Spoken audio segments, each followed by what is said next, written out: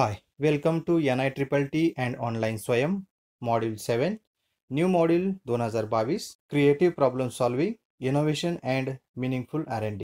Graded Assessment 4. Question 1.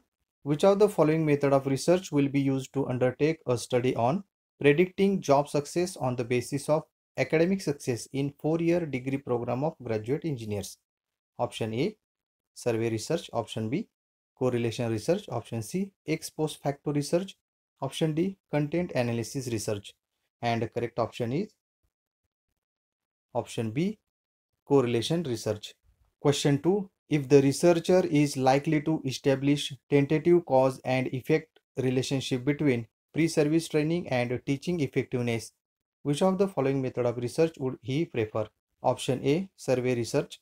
Option b case study research. Option c correlation research option D ex post facto research and correct option is option D ex post facto research. Question 3 For which of the following hypothesis researcher would use one-tailed t-test? Option A Teachers with pre-service training are significantly more effective in teaching than those without pre-service training. Option B there is no significant difference between the teaching effectiveness of teachers with or without pre-service training. Option C. There is no significant effect of pre-service training on the teaching effectiveness of teachers. Option D. Teaching effectiveness of teachers with pre-service training is significantly different from the teaching effectiveness of those without pre-service training. And correct option is option A.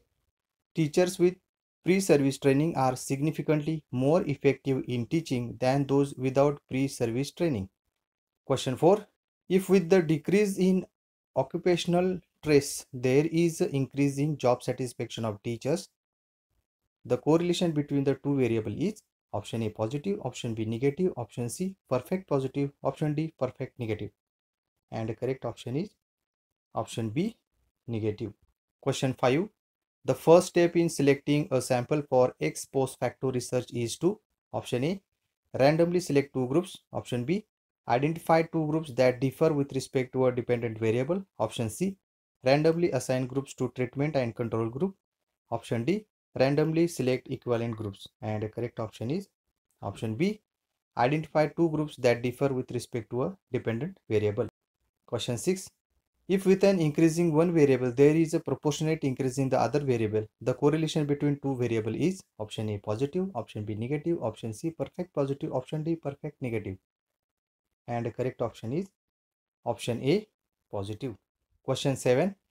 Ex post facto research will be used in undertaking a study when option A both cause and effect have already occurred. Option B when the cause cannot be manipulated. Option C both option A and option B option D neither option A nor option B and correct option is both option A and B. Question 8 which of the following is the research hypothesis that can be tested through correlation research? Option A there is a no significance difference in the teaching effectiveness of teachers from electrical and mechanical engineering. Option B there is a significant relationship between intelligence and academic achievement of students for first year of civil engineering degree program. Option C. There is no effect of instructional method on the academic achievement of students. Option D. There is a significant effect of blended learning on the achievement in applied physics of students of the first year in engineering. And correct option is option B.